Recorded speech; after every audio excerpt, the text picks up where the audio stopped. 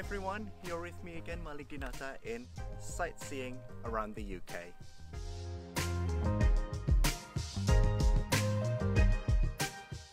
Today's video is going to be a bit different. Some of you have requested me to make a video, not in Indonesian language, but in the English language. And so be it. Let me know in the comment section below, which one do you prefer? Is it in English or is it in Indonesian language? Whatever it is, your wish is my command. Today's sightseeing around the UK will take you to a short walk around Ramehead, a coastal headland in southeast Cornwall.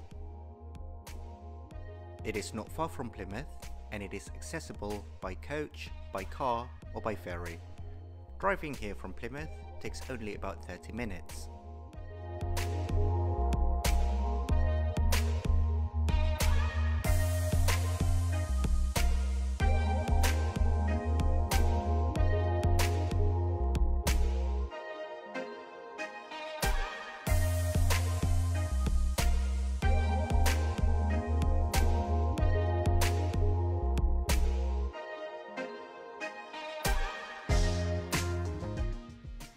It was cold and frosty this morning, and the air temperature was around 2 degrees centigrade.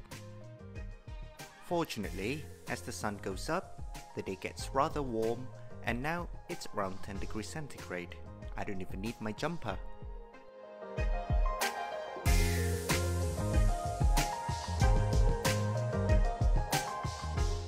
Around Ramehead, Dartmoor ponies are kept to graze. They can often be viewed from the sea.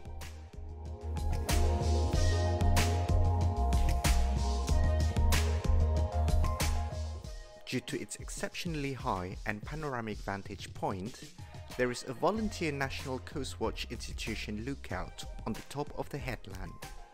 I bet they love their job. Come on, just look at that view!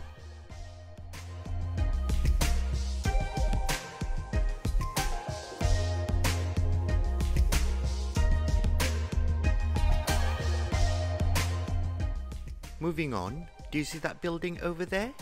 It's a chapel. It was dedicated to Saint Michael. The chapel is accessible by a steep footpath from where we were.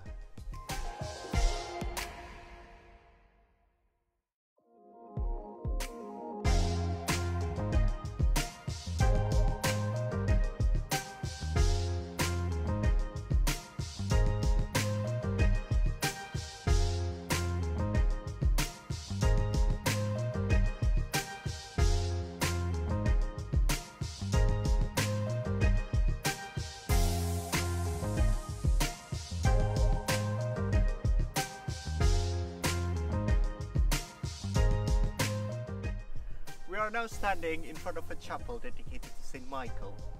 The sun is actually quite glorious and despite being in the middle of the winter, I don't need my jumper and I don't need my jacket. It is actually quite warm. Or maybe it's just me being a crazy Asian. Come on then, let's go inside.